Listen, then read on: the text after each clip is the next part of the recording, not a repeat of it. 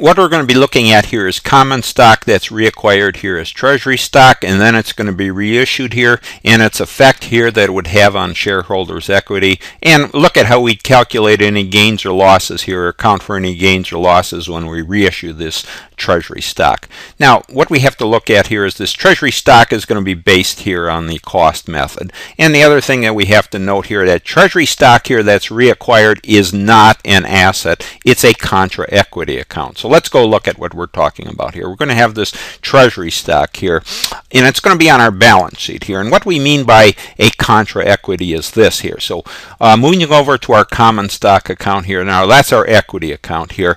And what what we have here, we're going to have a, a million dollars sitting here in our common stock account here. That would be credited here for a million dollars. That includes the additional paid-in capital to our common stock. I'm just lumping it all together here as a million dollars. But what we're going to do here, we're going to go out and the company is going to buy back some of this common stock here. And, and what they do is they have to account for it here in a separate account here as a treasury stock account. And this is going to be a contra equity account. And what we're looking at here and what we mean by a contra equity account is this here. So say for example here the company goes out and they're going to acquire here, uh, buy back this common stock, 10,000 shares here, and they're going to pay $11 per share here uh, to buy back this common stock. And then they're going to, it's going to be accounted for here as treasury stock. So 10,000 shares times $11 per share, it's going to cost the company here $110,000 to buy that treasury stock or that common stock back. Now, one thing we have to point out here, the number of shares of stock is not changing. We're going to still have the number of shares, but it, it depends where it's sitting here. So um, first looking at this common stock here. Uh, this is what we talk about by this uh, contra equity here is this is going to reduce the equity here. So we're going to have common stock that's acquired here as treasury stock. So we had this we have this million dollars worth of common stock outstanding here and now we're going to reacquire $110,000 here as treasury stock. So just looking at the difference here taking uh, this what we mean by this contra equity here this treasury stock now represents $110,000 of the common stock here. So originally we had our credit here. We increase our equity was increased by a million dollars here uh, of common stock that they're holding. But now uh, buying back $110,000 and putting it into the treasury stock account here we're going to now only have equity here of the difference here of $890,000 so we reduced our equity here um, in on our balance sheet here by 110,000. So we're sitting up here with $890,000 worth of equity here in our common stock. That's after we bought back these $110,000 worth of common stock and we're going to put it into the treasury stock account. So how we do that here is we would debit or increase our uh, treasury stock account here by $110,000. So you can see here you're, uh, you're debiting uh, your treasury stock account and that actually is decreasing your equity. And you can see well, how it's decreasing your equity here. You decreased your equity by $110,000 here. So when you debit your treasury stock here, you're decreasing your equity. So this is really what we're going to be looking at here, how this treasury stock interrelates here with the equity here that the company has. And um, Again, the treasury stock here is uh, repurchased common stock. So what we would do in, uh, for this $110,000 that we bought back here, we debit our treasury stock account here for $110,000 and then our, our, cash account here, we would have had to pay $110,000 here to repurchase that uh, stock here. So we credit or reduce our cash account here for $110,000. Okay, so now we're sitting here where we have this treasury stock. It's a contra equity here. It's not an asset on our balance sheet here, but it's a contra equity. And now we're going to go out and we're going to reissue uh, this treasury stock and we're going to do it in this fashion here. So we look at it we're going to have reissue a thousand shares here in three different three different dates here. So we're going to have a thousand shares here and this is going to be the reissue price. First thousand shares is going to be reissued here at $15 per share and the next uh, thousand shares at $8 per share. That's what we're going to receive from uh, by reissuing. That's what we're going to receive here for reselling that um, treasury stock here. Now and then the third issue here is going to be again again for $8 per share. And we want to look at how we're going to handle this, uh, uh, how we, when we reissue this treasury stock, how it affects our equity account here, and how we uh, handle any gains or losses here on reissuing the treasury stock. Because remember, it's not an asset here, and um, by reissuing it here, we're going to have some gains or losses here, or we could have some gains or losses. It's not an asset on the balance sheet here. It's a contra equity account. And because it's not an asset here, we're not going to recognize any gains or losses on the income statement. Everything uh, uh, is takes is accounted for here uh, in our equity accounts here on our balance sheet, except again for our cash payments or cash receipts here. So let's look at the case here for this first uh, date here, a 3-1, when we're going to reissue 1,000 shares here. So we uh, at $15 per share here, we would debit our cash account. We're going to receive $15,000 for those shares that we reissued here. Then moving over to our treasury stock account here. Now on 3-1 here, you can see what's happening. This is where we're going to have to credit or reduce our treasury stock account by $11,000. Well, the reason we reduced it here by $11,000 is because we purchased it here at $11, and that's the amount that we're going to be using here in this treasury stock account here for our basis. So uh, purchased at $11 a share here. So what we have to do is we're going to, when we reissue those 1,000 shares, we're just going to take 1,000 shares times $11 per share. We're going to credit or reduce our treasury stock account. Now you can see by credit crediting or reducing our treasury stock account, we're actually increasing our equity. Because remember here, the original amount here, we decreased our equity by $110,000 here, but now we're going to reissue uh, $15,000 worth here, uh, and we're that's going to increase our equity here by $11,000. So just remember here, when your treasury stock here, when you're crediting or reducing your treasury stock account,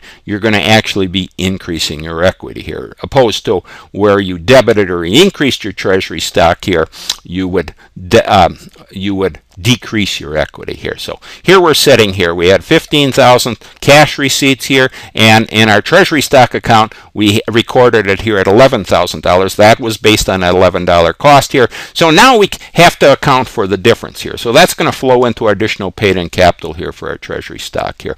And what we want to really look at here is, uh, just remember here, our debits here are going to be a loss uh, is going to be recognized as a loss here on any of those transactions here and a credit here into the additional paid-in capital is going to be a gain here. So again, looking at this 3-1 date here that we were looking at. So we needed a balancing entry here between the $15,000 received and the 11,000 that we put into our treasury stock account here. So the difference here gives us a credit or of a $4,000 here, a reduction to our days no paid-in capital here by $4,000. And you can see that uh, this is going to increase our equity here by um, $4,000 here, increase our equity here in the, the company's equity here. So really what we're looking at here is um, when we credit our additional paid-in capital here, that's going to be a gain here. This is going to be a gain because, and this is the fact here, we received 15,000 and our cost that uh, basis here was at that $11 per share that we used here of $11,000. So our 15,000 is greater than the $11,000 cost. So the difference here goes to a, day, a gain here, 15,000 cost minus $11,000 or $15,000 receipt here less the $11,000 cost gives us that $4,000 gain. So what we would do, we would credit our um, additional paid-in capital here by $4,000. So again, just remember that increases our equity here, our equity account here. So just looking up here uh, again here. So if we if we uh, if it's above the cost here, when we uh, reissue it here and it's above the cost, we're going to have a gain here.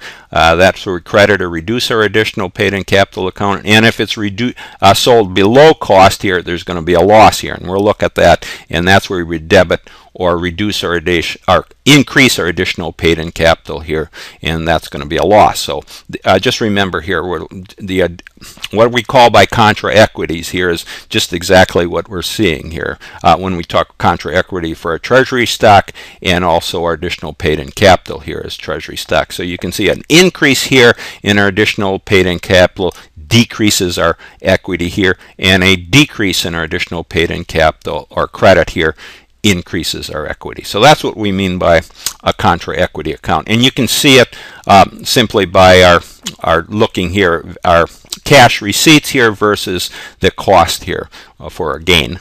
and also we're going to look at a loss. So now let's look at our loss here. So now for the next period here, we're going to reissue 1,000 uh, shares again, but it's going to be at $8 per share. That was $8. So we got debit or increase our cash here for $8,000. Now, moving over to our treasury stock account, we still stick with that $11 cost. So we had 11,000 share or 10,000 or 1,000 shares that we reissued here uh, times the $11 cost. So again, we're going to credit or reduce our treasury stock here by $11,000 here. Again, that increases our equity here. So what we need is that balancing entry here between the $8,000 debit and our credit here of $11,000. So here's where we go down. Again, we flows into additional paid-in capital for our treasury stock here. So the difference here is it's going to debit amount is going to go to additional paid-in capital here of $3,000. So we have the 8,000 here debit, 3,000 on additional paid-in capital is a debit. That balances with the $11,000 credit here in our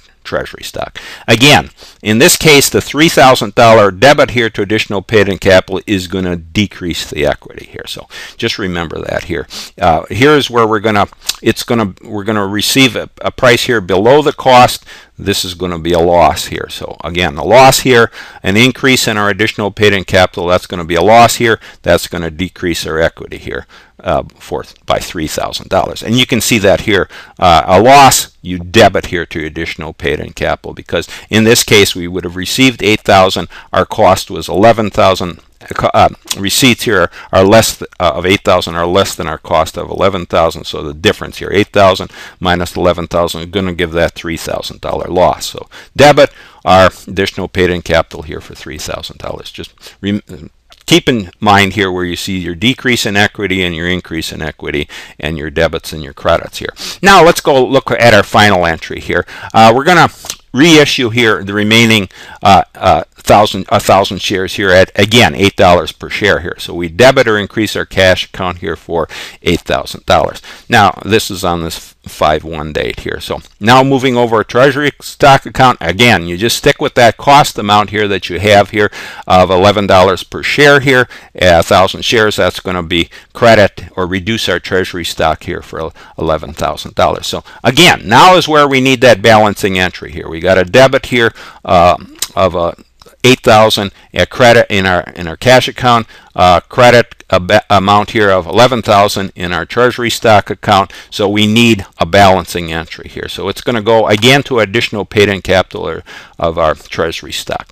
But this is the problem we're facing here. We can only uh, reduce our additional paid-in capital here to a zero balance here. So we've already reduced it here for that last stock issue here at $3,000 here, and we had a, a, debit amount here 3,000 versus the credit here initially at 4,000. So there's only $1,000 remaining here, uh, and we can't go below zero here. So we would debit uh, our additional paid-in capital here for $1,000. So what we do here in this case here, the uh, balancing amount has to go to retained earnings here on our balance sheet again. This is where we would debit the remaining amount here of $2,000. So we had to deal with that total $3,000 loss here for those um, 1,000 shares issued at date $8 per share here. And we could only use, uh, go down to a 1000 here in additional paid in capital and debit that here. So the remaining debit goes to retained earnings. So again, of $2,000 here. So you debit or reduce your retained earnings. Again, that's decreasing our equity account here. So just remember this. A loss, you, uh, you debit your additional paid-in capital here. And if there's a zero balance, then the you debit the re, uh, retained earnings for the remainder here. So we had a 1000 sitting on our additional paid-in capital. We had to come up with, uh, for the $3,000 loss, the balance here goes to 2000 to our retained earnings. Now, just remember here, in all stock transactions, no gain or losses are shown on the income statement. Everything's transpired right here in our equity accounts in, in, in the contra equity accounts here for the treasury stock and our additional paid in capital. So, okay, all we wanted to go through here is look at really what this treasury stock is here and how it affects our shareholders equity. And we started out with our common stock here. Uh, in this case we had a credit here. That was where we increased their equity here for in this case it was a million dollars. But then we rebought the company rebought some stock here. And when you do that, you uh, account for it as treasury stock, and that becomes a contra equity account here. So in this case, uh, when you repurchase it here or reacquire it here, this common stock, you would debit your treasury stock for the amount here. In this case, it was based on that $11 cost per share here. So you debit your treasury stock here for that amount here. And that in essence, you're decreasing your equity here because you're taking this common stock out of the market here. You're just bringing it back here as treasury stock. And this is what the company is holding here. So that's how they accounted for here. And they have to use this contra equity account here. So just remember, treasury stock is a contra equity account here. Debits amount here reduces the shareholders' equity. Credits increase the shareholders' equity, just as it's showing here. And then when you reissue this uh, treasury stock here, in this case, uh, you're going to have some cash receipts here, and then you have to balance it with, in this case, we use this cost method based on the uh, repurchase price here, the cost of $11 per share here, you come up with some credit amount here because you you're by repurchasing it here, you're increasing your equity again here. You add you're increasing your equity here because we're reducing the amount of treasury stock. And then uh, simply we have to come up with that balancing amount and that has to go into additional paid in capital here for a treasury stock here and just remember here when we uh, in the case here where we uh, credited our balance we had to credit our additional paid in capital, that's where we saw a gain here. That's a that's the gain here. It doesn't go to any income statement here. All it sits here is additional paid in capital. It's a gain here. That's where you're going to increase your equity here. And then we're our balance between our cash account here and our treasury stock account where we had to have a debit amount balance that is a recognized as a loss here and that's where you decrease your equity here as a loss. Okay, so that takes care of uh, this uh, common stock here that's reacquired here as treasury stock, and then we reissued this treasury stock here, and it is effect that it has here on a shareholders' equity. Just remember here, treasury stock is not an asset here, and it has to be accounted for here as a contra equity here, where in essence it's reducing our equity here, our common stock, because we repurchased them here. So uh, whatever, uh, when we mean by, in this case, the amount that's repurchased here was debited to our in this case our treasury stock here and in essence that's reducing the credit amount here that we had in our equity as common stock. All right, so that takes care of our common stock here reacquired here as treasury stock.